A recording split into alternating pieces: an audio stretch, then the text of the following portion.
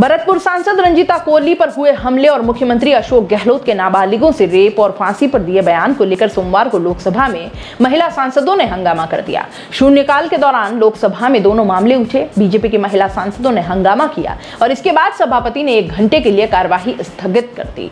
लोकसभा में बीजेपी की महिला सांसद रंजना बेन भट्ट ने कहा कि भरतपुर की महिला सांसद रंजिता कोहली पर रविवार रात हमला हुआ। हमलावरों पर कार्यवाही नहीं होना गंभीर बात है। चौथी बार हमला हुआ है। उन्होंने कहा कि राजस्थान में कांग्रेस की सरकार है। राजस्थान के सीएम बेटियों से रेप करने वालों को फांसी की सजा देने के कानून को नहीं अमल कर रहे।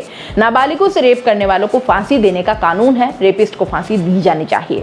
सीएम अशोक गहलोत ने शुक्रवार को दिल्ली में कहा था कि निर्भया कांड के बाद जब से यह किया गया है कि रेपिस्ट को फांसी की सजा मिलेगी, उसके बाद बच्चियों की रेप के बाद हत्याएँ बहुत बढ़ गई हैं। रेप करने वाला देखता है कि कल ये मेरे खिलाफ गवाह बन जाएगी तो हत्या कर देता है। देश में बहुत बड़ा चैलेंज है। पूरे देश से जो रिपोर्ट आ रही है वो बहुत चिंताजनक है। वैसे भी आप देख रहे हैं कि बेरोजगारी बहुत भयंकर है। महँगाई का जमाना है। असामाजिक तत्व बहुत बढ़ रहे हैं। देश प्रदेश में क्राइम बढ़ रहा है, हिंसा बढ़ रही है छोटी मोटी बातों पर झगड़े हो रहे हैं। तनाव और हिंसा बढ़ रही है। कहीं बच्चियों से रेप हो रहे हैं। क्राइम लगातार बढ़ रहा है, जो बहुत चिंता की बात है। दोस्तों सीबीसी न्यूज़ आपके सहयोग से लगातार बढ़ता जा रहा है। स्वतंत्र पत्रकारिता का सहयोग करने के लिए आपका धन्यवाद।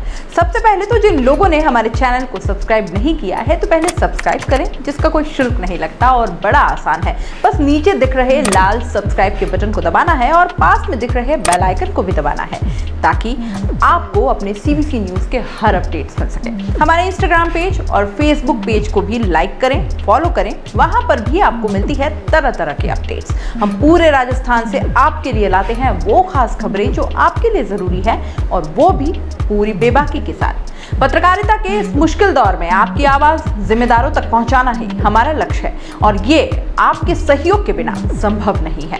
हमारा सहयोग करें, स्वतंत्र पत्रकारिता में अपना योगदान दें और ज्वाइन बटन पर जाकर सदस्यता लें, चाहे सबसे छोटी सहायता के रूप में ही क्यों ना हो।